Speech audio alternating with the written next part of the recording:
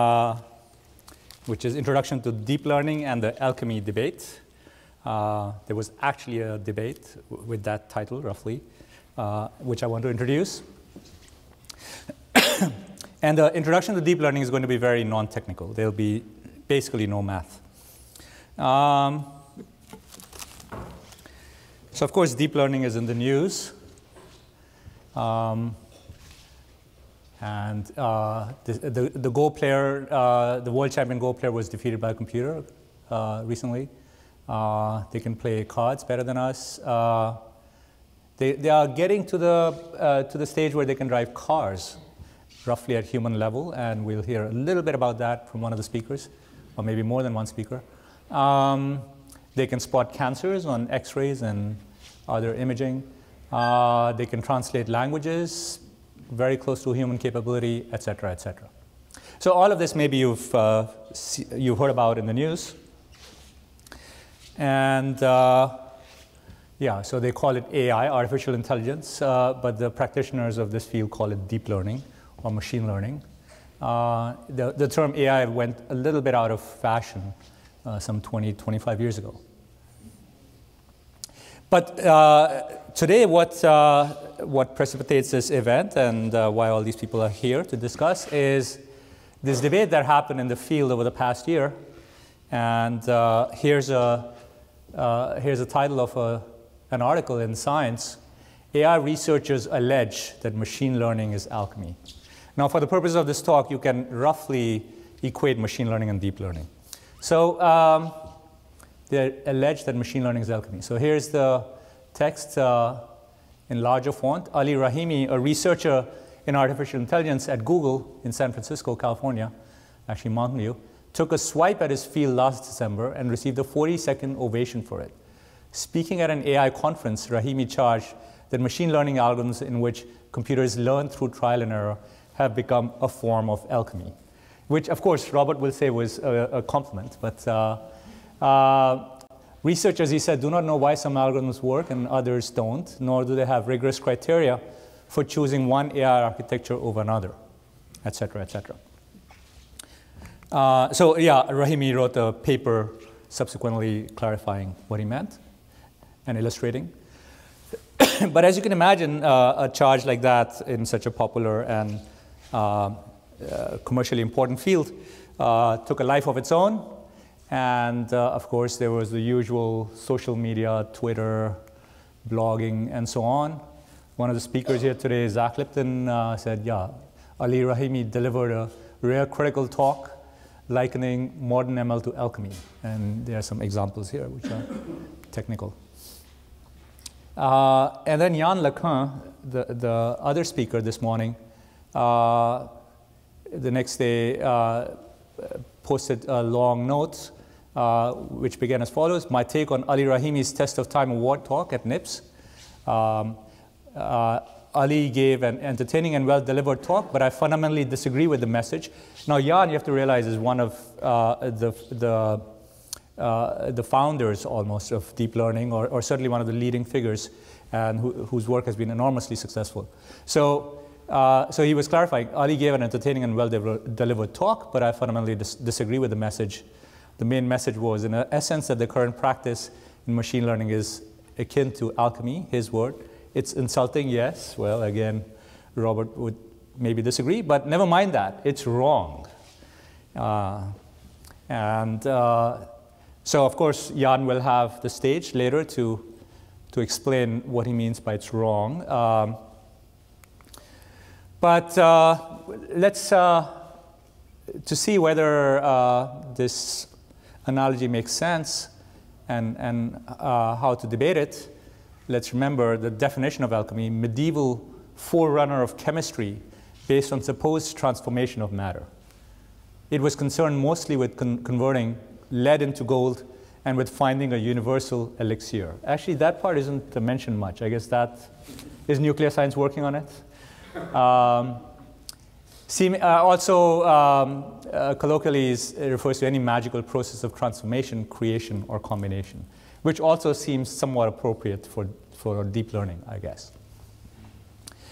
So yes, uh, this is the This is the chemical equation that they were hoping to realize by a chemical reaction. And, and as, a, as Robert said, ultimately it was done 300 years later using nuclear science. So they were uh, sort of on the right track, but, uh, but missing the main idea, uh, which is atomic physics. Uh, by the way, this teach the controversy. I don't know how many of you know it. It's a, it's a line people put on a line of T-shirts referring to the controversy about intelligent design. So teach both that kind of thing. Um, so what are the alchemy analogies I see in deep learning? Let me just share some with you.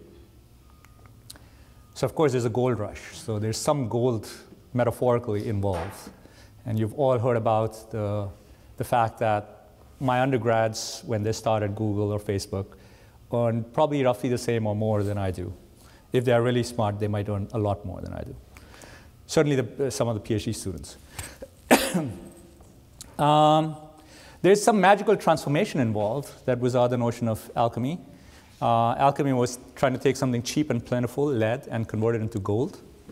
Well, here we have cheap data in today's world, and you can feed that data in, in the appropriate setting to deep learning, and out comes some form of intelligence, machine intelligence. So it is somewhat magical, and it's converting something mundane into something magical. Another analogy, uh, it attracts some top scientists of its age. Uh, and, uh, and indeed, yeah, many people are definitely intrigued. Uh, the, the top scientists I encounter in a variety of settings are quite intrigued uh, about what's going on here. And there have been solid advances, Go playing, translation, etc., where really they are approaching or exceeding human capability. And we all hope really hope that uh, we, we won't have to drive cars and cars will drive us in a few years. So, uh, and that also is a close analogy to the alchemy uh, situation because uh, even Isaac Newton, some, whom some consider the smartest person to ever live, uh, was an alchemist actually and wrote a million lines of text on, about alchemy. That was really one of his passions. And, uh, and alchemy, of course, led to fundamental changes in metallurgy, glass making, chemistry, and all kinds of other things, medicine. And finally, uh, the, the last analogy I can think of is that uh, questionable science in the sense that some people question it. Uh, uh so possibly, uh, you know, but maybe we have too rigid a notion of what science should be, and that's something people will discuss today. And uh, probably will lead to new fields. What is intelligence is, sort of an important scientific question today. So in this talk today, uh, I'll uh, focus on these three things. I'll give an introduction to machine learning and deep learning, a very non-technical one. Some idea of what Rahimi meant at a non-technical level. And finally, I'll end with a brief introduction to the other speakers. Uh, so just so you get a sense uh, uh, in sequence what will be covered today. So machine learning. Um, people uh, sometimes describe it in different ways, but uh, my view is that machine learning is something very old, curve fitting, which possibly many of you learned in high school science. When you do a physics experiment and you plot the, uh, the data on some curve and you fit a curve to it. So something like this, so here's data about inflation and unemployment in Japan during a certain period. So these, the scatter plot.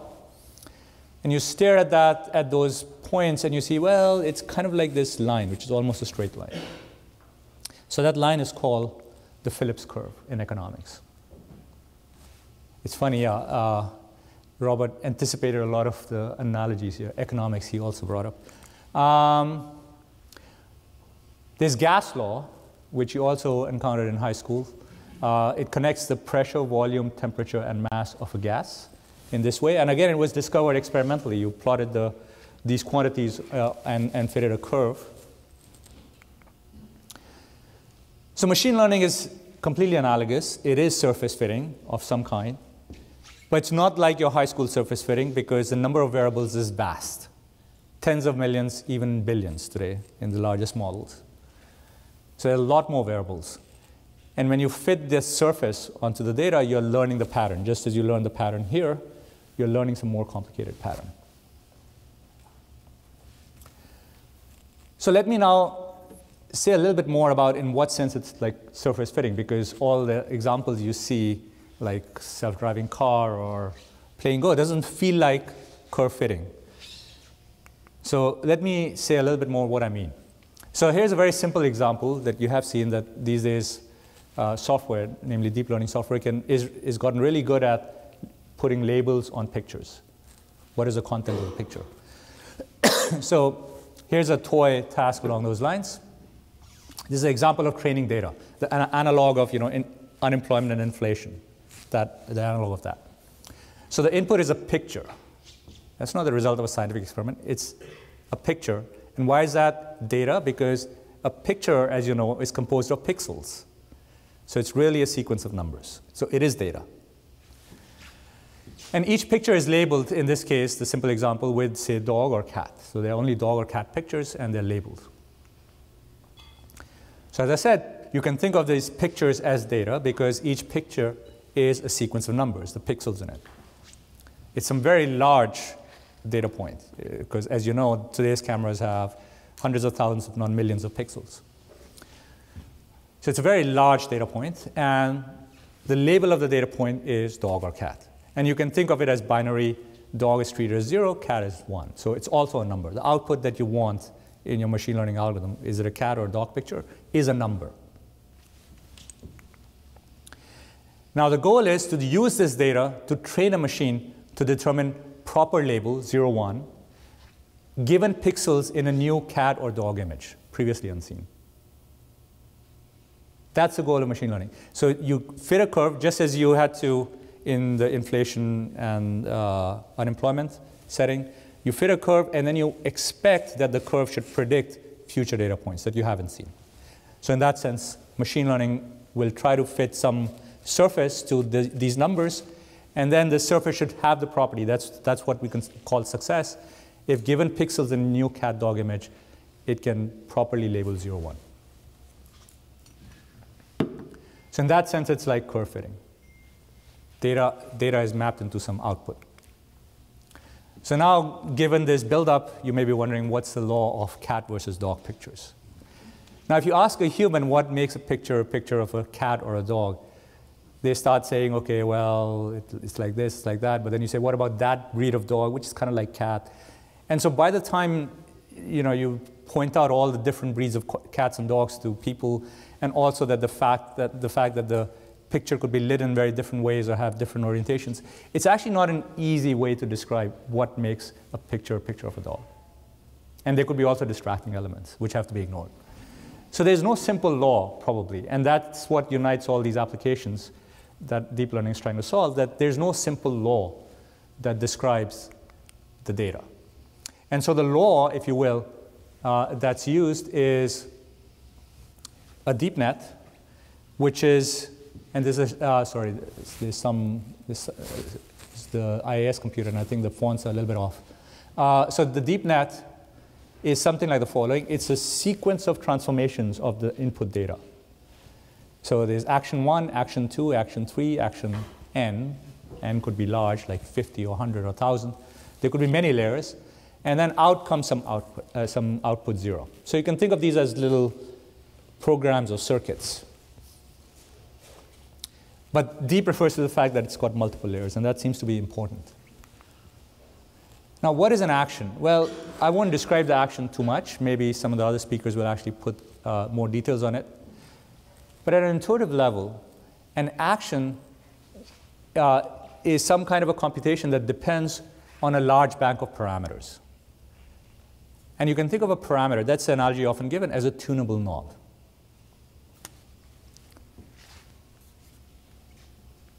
Now, often when this analogy is given that deep learning has these tunable knobs, everybody nods and says, yeah, I understand how knobs work, right? We all have knobs in our car stereo. Well, let me emphasize that there's some important differences compared to your intuition of how knobs work in deep learning. Okay, so that's why the analogy is a little subtle. So firstly, of course, the number of knobs is very large. Okay, in your car stereo, there are four or five knobs tops, uh, and each has a purpose. And here, the number of knobs, as I mentioned, is the number of parameters, which could be hundreds of millions or even billions. So imagine, if you will, a football stadium chock full of knobs. Okay, and you walk through that stadium and adjust those knobs. Okay, if you want to train this network. So there's a lot of knobs. That's the first thing. But more importantly, more importantly, the effect of each knob depends on the knob settings of previous layers. Actually, I should say actually all the layers. Okay, each knob's uh, effect depends on the settings of the other knobs. Let me emphasize this is completely contrary to your way of thinking of knobs. When you try to make the car stereo do what you want it to do, you turn one knob which tunes it to the right radio station. Then you turn another knob which adjusts the volume, another knob that adjusts the left right balance. Each knob has a purpose. It's been designed to do that. And they don't interfere with each other. Here, every knob interferes with every other knob, potentially. Okay, and if you know about electrical circuit, it's really an electrical circuit of knobs, okay, which are feeding into each other. And so they're affecting, their effect depends on the value of the other knobs. This is fundamentally different. Imagine your car radio had this system, you know, this complicated system. It would drive you nuts. You would adjust one knob and get, ah, the radio is correct. Now you start adjusting the volume, and the radio station changes. Okay, so this is fundamentally different. So in that sense, the knob analogy should be taken somewhat carefully. But this is very important. This is important for the success of deep learning, that it's a circuit of knobs. And it's important and very germane to the alchemy debate that we'll now talk about. So the training procedure for deep nets is to find the right settings for these knobs. And I'll say a little bit more about the training procedure. But the idea is that using a large training set of labeled inputs, there's an algorithm, a knob tuning algorithm, which adjusts these knobs all together to make the net's output match the labeled outputs as closely as possible. So to give you an analogy with the car radio, if the car radio was designed in this crazy way or constructed in this crazy way, you would want to hear classical music and you have some idea that there's a classical music station out there, and you'll keep twirling the knobs, trial and error, essentially, until classical music comes out. Because there's no notion of the knob tuning to a correct station or the right volume, etc. so this algorithm is an optimization algorithm. It's trying to optimize a certain function, just as curve fitting does. And for simplicity, we can think of the training objective function uh, of this optimization as minimize the sum of squared errors. So the true label, 0, 1, binary, and then the net's output, which is some number. And the difference between the two, square it up and sum, sum it over all the inputs. This is the objective. So this objective is trying to make sure that the net on the training data is producing the right output or close to the right output.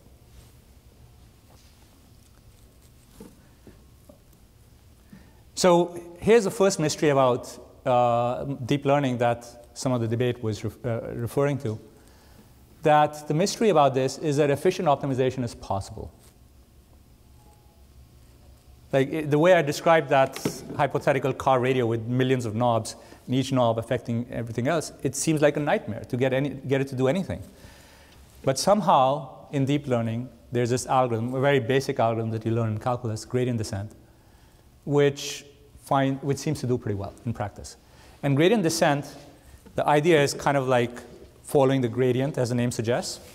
So I, am illustrating that in that picture by this, by this three-dimensional curve, or three-dimensional surface.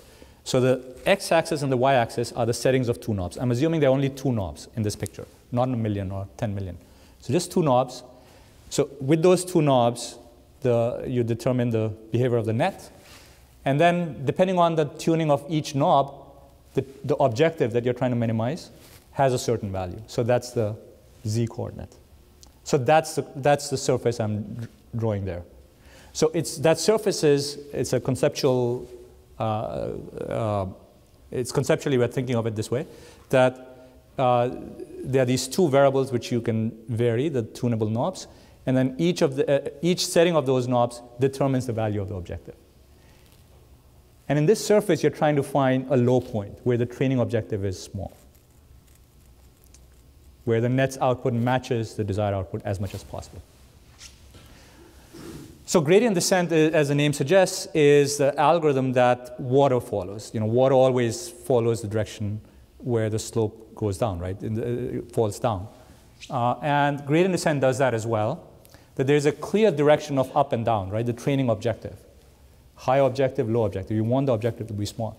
So you always incrementally adjust the knobs a little bit, little bit, little bit each time in the direction of maximum change. And the direction of maximum change is available via calculus called the derivative.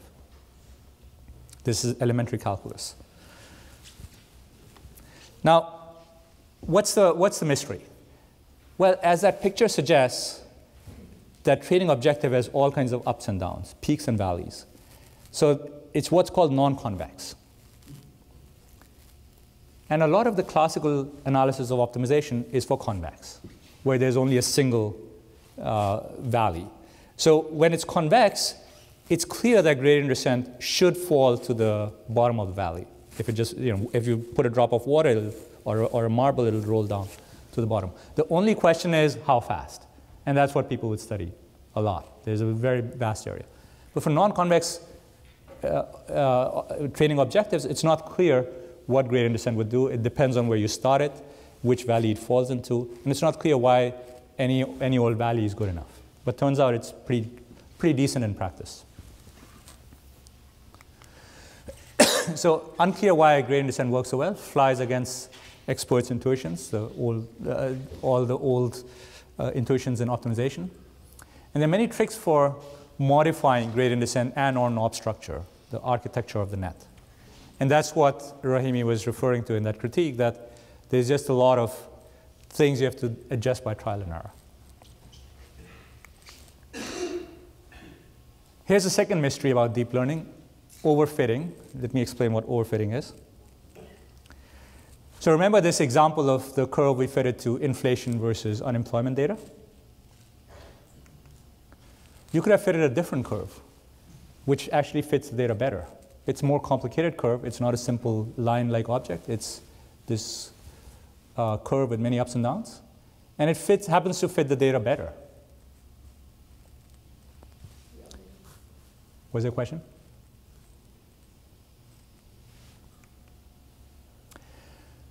So this is something that uh, scientists have thought about, and the rule of thumb, and this can be made mathematically precise uh, in some settings, that overcomplicated uh, explanations overfit to training data and do not generalize to explaining new data. Okay, uh, an overcomplicated explanation you can think of as analogous to a conspiracy theory. You know about these crazy conspiracy theories you read about, about something or the other where they connect the Kennedy assassination with with particle physics. You know, I'm making it up, but like crazy things. So, uh, so you can have an overcomplicated explanation, but then the task for that theory or that explanation is that it has to fit, it has to explain new data. And that's what an overcomplicated explanation does not do, and that's an old principle in philosophy due to Occam. Uh, uh it's called Occam's razor. So here's the mystery, that the deep nets that we're using today have a lot of parameters, these knobs. And the number of parameters is actually more than the number of training data, way more in many settings, which, according to the classical thinking, is a recipe for overfitting for this kind of behavior, not that on the left. So the mystery, I'm reminded of Sherlock Holmes, who said, the mystery is not why the dog barked, the mystery is why the dog did not bark. And so the mystery is no overfitting, not overfitting. That you would expect the overfitting to happen. You would expect the dog to bark, but somehow the dog doesn't bark, and overfitting does not happen.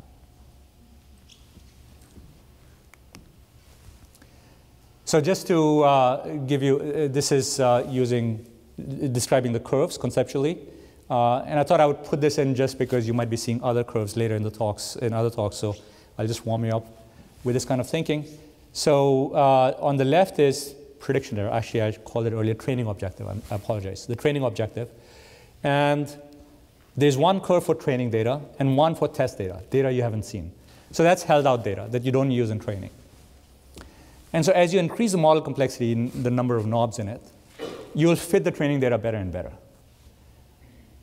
But this Occam principle, suitably formalized, would suggest that at some point, as you make the model too big, too large, it doesn't predict the new data very well.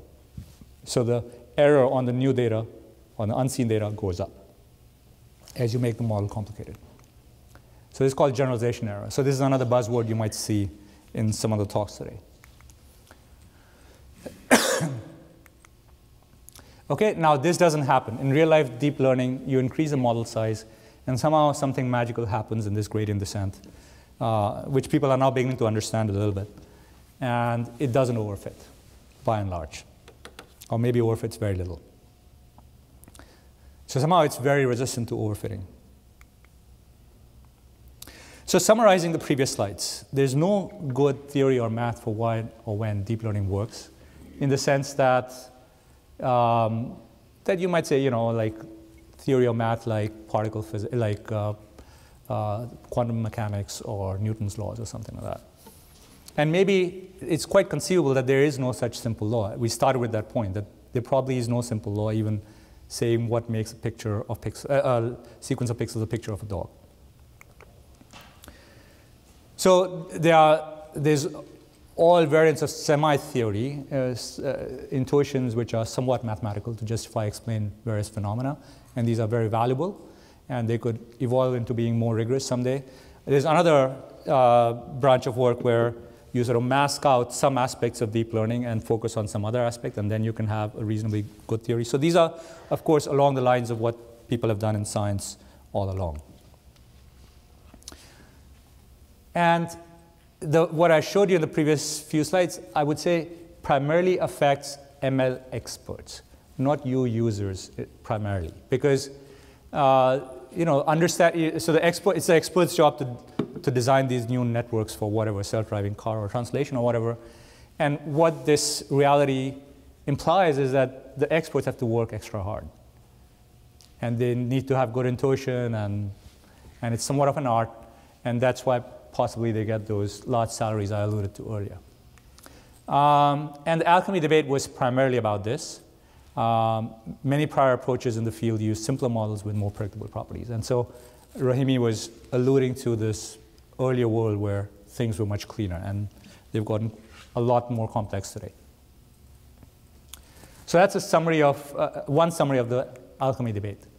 But there's another aspect of the alchemy debate which I think is more interesting or relevant to the average person, which is the interpretability problem. And I think today some of the speakers will talk about that too.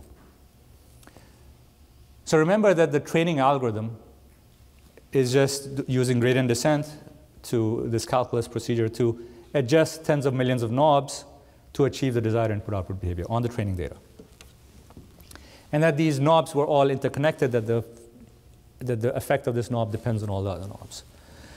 So what that means is that as the algorithm adjusts all these knobs in tandem and using some rule we don't fully understand, it's not clear why, at the end, why machine gave the answer it did. You can't point to any knob setting or anything. It's just the full setting of all the millions of knobs or tens of millions of knobs, which describes the answer. It's a complicated model of reality. And this is very relevant to you because if these systems are uh, doing medical diagnoses or deciding whether you get a loan or all those things that affect your life, uh, in general, you want an answer. So it would be very nice to have more interpretability in machine learning. Now, of course, people point out when this is brought up that there isn't a lot of interpretability in human decision making, you know, as all of us who've ever tried to call customer support for anything know. So, uh, okay. But I think it is a problem. Scientifically, it's an interesting problem. And, and again, people are thinking about it, but it's in the, it's in the early stages. So this point um, makes me want to emphasize something that is a feature of today's machine learning, which you should be aware of, which is a distinction between design and learned systems. And we've discussed this already in the in context of the knob tuning. So we are all, of course, used in the last century or so by, uh, uh, to, having, to being surrounded by complicated objects, which are designed by vast teams using millions of lines of computer code. And, and these objects are magical to us. You know, what a smartphone can do, why a jumbo jet can fly. Uh, and of course, people 100 years ago would have been completely uh, mystified what's in there. So, so we are surrounded by that and we, we are used to complexity. But the important thing is that these are designed. Somebody in this vast team knows the purpose of each compo component and what to do if it's going wrong, et cetera, et cetera. These are designed components. These are designed objects. I mean, they might use computer software to design, but still they have a pretty good idea. Contrast with the deep net. The designer is using trial and error to select the architecture and optimization algorithm. Then the gradient descent algorithm that I mentioned earlier, I forgot to say this earlier, the initial setting, you have to start it off at, with some initial settings of the knobs, and the initial settings are usually random. You start with random settings to the knobs, and then you do this gradient descent to let the net learn some knob settings from the data. And that's inherently different from, from a design system. It's a learned system. And nobody, meaning no person, really understands what various components learned and how they affect each other. This is something to be aware of. And maybe there's nothing strange here. You know, probably uh, all technology is at some, some level of mystery and, uh, uh, and complicated technology even more so. So maybe we'll just get used to this, but it's something to be aware of. That it's a learned system and we don't know the purpose of the individual components too well.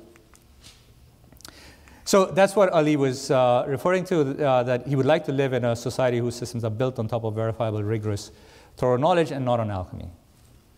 It's a bold statement. Uh, and uh, I mean, of course, Ali is very well versed in deep learning and the older methods. So uh, he, he, he's definitely uh, qualified to, to make this statement. But uh, Yann uh, wrote back in his response that engineering artifacts have almost always preceded the theoretical understanding. It is important to invent new techniques and yes, tricks, you know, even when you don't have theoretical understanding, and maybe theoretical understanding will catch up. And of course, we all know of examples like this. Uh, there were, there were uh, steam engines drawing people even back in 1829, but it took 50 plus years to begin to start understanding them. And so that's what Yann is referring to, that almost certainly this process will happen for an important technology. So then in a subsequent manifesto, so I'm, I'm uh, describing this, by the way, because neither Rahimi nor Recht were able to come to today's, uh, session, uh, to today's event. And so I'm sort of summarizing, ideally I would have liked them to step up here and explain what they were saying. So I'm just uh, describing it for you. So uh, it turns out the, this whole position paper was written by the two of them jointly.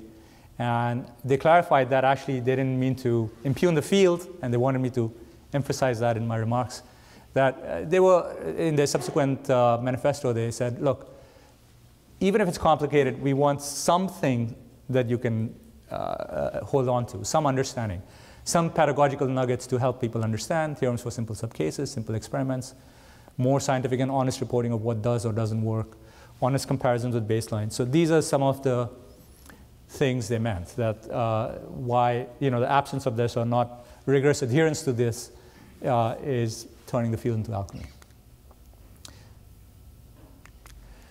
Well, to something like that, of course, the answer is amen. Yeah, I mean, should we all exercise more and eat better? Yeah, eat healthily. Yeah, so these are, these are of course, uncontroversial. I think everybody agrees with this. And some of the speakers today will uh, address this. So which brings me to uh, today's amazing speaker lineup. They represent diverse fields that leverage deep learning and have arrived at deep learning from various, uh, through, along various paths. So the first speaker is uh, Zach Lipton from CMU, uh, who spent some time in industry and then has recently moved there. Uh, his expertise is indeed machine learning and its societal impact. That's, uh, uh, that's, he's a master expositor of that.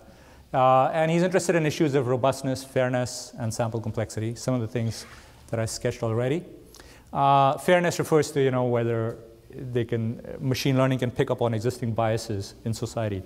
And you, you end up with a system that's actually more biased than, than uh, even uh, society is today. Uh, he's an author, blogger, expositor. I recommend his blog and uh, also his saxophone album you can uh, stream on Tidal and other services, and I highly recommend it. I was listening to it last night. Um, next speaker will be Yann LeCun, uh, a very eminent person in deep learning, uh, director of AI research uh, at Facebook. He was personally recruited by Mark Zuckerberg uh, a few years ago. Also the uh, founding head of the New York University Center for Data Science, member of the National Academy, and ha uh, has won many awards, including the Neural Network Pioneer Award, which actually describes exactly what he is. He's one of the two or three pioneers of deep learning today, especially uh, about convolutional neural nets, which he'll talk about, I think, uh, and he's done foundational work in all types of deep learning. The next speaker will be uh, uh Joelle Pineau, uh, who's a co-director of the McGill Reasoning and Learning Lab and also head of Facebook research in Montreal. The Facebook, the two Facebook people was sort of just a coincidence. Uh, as you probably know, to get an event like the, going, you have to invite people, and somehow you can't plan ahead of time the, the, who, uh, who accepts. So uh, great, very grateful she, can she could come. I had to really convince her to come for a day. Uh, world expert in decision making for robotics, uh, especially algorithms for planning and learning in partially observable domains, which is, of course, what happens in self-driving cars, that the full reality is not observable to you and you have to infer uh, what may be going on. Very interested these days in how to imp uh, improve reproducibility of ML research. Uh, uh, and she has a lot of writings on that. Uh, Shai Schwartz, uh, professor at Hebrew University and also a scientist at Mobileye. Now, Mobileye is a company you may not have heard of because it makes self-driving systems that exist today in a lot of the cars. And uh, it's an OEM company, so that's why you don't hear about it, but they are actually quite large and influential. And uh, he is a world expert in theoretical machine learning, uh, but lately interested, uh, due to his stint at Mobileye, in problems arising in design of self-driving cars, where he's adopted deep learning, and he'll tell us a little bit about that. Uh, but uh, he, he bridges the old theoretical view and the deep learning view that uh, that Rahimi's critique was referring to, and so he can maybe address that for us. And finally, there's Mike Collins, uh, professor at Columbia University and also at Google Research, uh, ACL fellow, and a very long list of best paper awards at top venues. Uh, he's uh, the world ex he's A or maybe even the top world expert in natural language processing and one of its deep thinkers. And in the last few years is leveraging deep learning for NLP. so some points of discussion today. How have the various speakers adopted deep learning in their domains? Um, this mix of uh, heuristics, engineering, science, rigor, how are they, uh, what do they think about it, and uh, their perspective on how does the field split currently around these, and what is the right mix going forward. How can alchemy, if any, evolve into science, or maybe as Robert will say, devolve, because maybe it's better than science how desirable is it and how realistic is it to completely understand machine intelligence, given we don't even understand ourselves. So maybe understanding should be in quotes, and it's, never, it's not clear what that will be. Uh, what kinds of problems, societal, technological, can arise from lack of understanding and deep learning?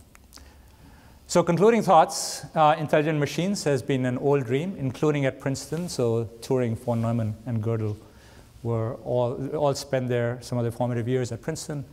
Um, and uh, that's Lady Ada, who is an early pioneer and uh, uh, who imagine in, back in the 19th century, early 19th century, um, uh, intelligent machines. it's becoming a reality today thanks to uh, ability to train vast models using vast streams of data, fast optimization methods, fast computers, lots of tricks. But intelligent behavior is complicated, as I hope I've convinced you, and let's hear from our distinguished experts how they are probing its mysteries while navigating the alchemy science spectrum. Thank you very much.